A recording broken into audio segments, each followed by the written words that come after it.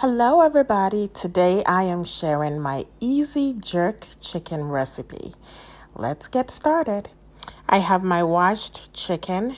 Uh, please make sure you wash your chicken. I hear people talk about not, you know, washing meat, and I think it's absolutely disgusting. I don't know where my meat came from. So, yes, I wash my meat very well, and then I throw on the seasoning. Guess what? My seasoning comes from a bottle. Uh, this is my all time favorite jerk seasoning. I make it myself sometimes, but for the most part, I just use this seasoning. It's the Walkerswood. I'm not sure how I stumbled on this jerk chicken uh, seasoning, but it's absolutely my favorite. Um, I get it from the African store, but I'm positive you can pick this up at any local grocery store.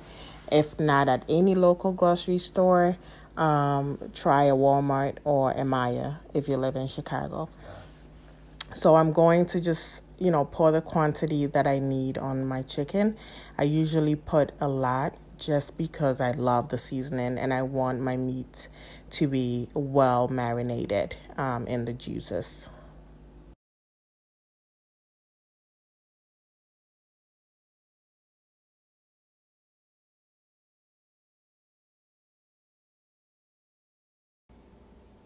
Okay, let your chicken marinate for a little bit. Um, if you have just, you know, a couple of minutes, fine. Let it sit down for about 10, 15 minutes. If you have a lot of time, put it into the refrigerator overnight. Oh my goodness. It's going to soak up the juices and you will absolutely love the results. Our chicken is all marinated and we are going to throw it into a conventional oven to bake it. Listen, guys, this is one of the best purchases I've made in my life, honestly. Well, because I love food. I got this off of Amazon for $20 and I'm going to tag it um, below um, in the information section. So definitely check it out. But yes, I love, love, love this tool. It is one of the best tools I have in my kitchen, and it just whips up food um, in just a couple of minutes. Minutes. It's way faster than the original, um, the you know the regular oven. So I absolutely love it. Throw everything in there. I'm throwing the juices in there as well because I'm all about the taste.